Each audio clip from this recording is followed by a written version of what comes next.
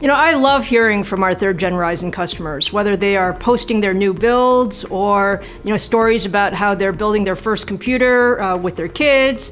Or I even got a letter the other day of someone who had named their first child Ryzen. So, uh, pretty amazing, but I think it says a little bit about uh, how much excitement there is for Ryzen in the marketplace. We chose 7.7 as a launch date last year for our third generation Ryzen CPUs and our Radeon RX 5000 GPUs because it was really the first time ever that a company could launch both a high performance CPU and a high performance GPU in a brand new 7 nanometer technology on the same day. Ryzen is all about bringing out the best that computing can offer.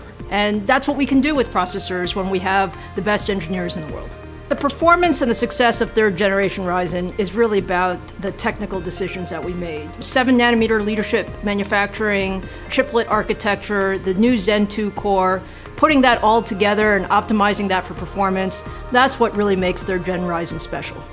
We're really excited today to celebrate the anniversary of 7.7 with these three new XT processors. It's really about pushing that envelope in performance for the person who really wants the best that third gen Ryzen can offer. As you know with Ryzen, we're always on a journey, a journey to push the highest performance that we can for our users and our fans. So Zen 3 is exactly that. Zen 3 is looking great in the labs. We're on track to launch later this year, and I can't wait to tell you more about it.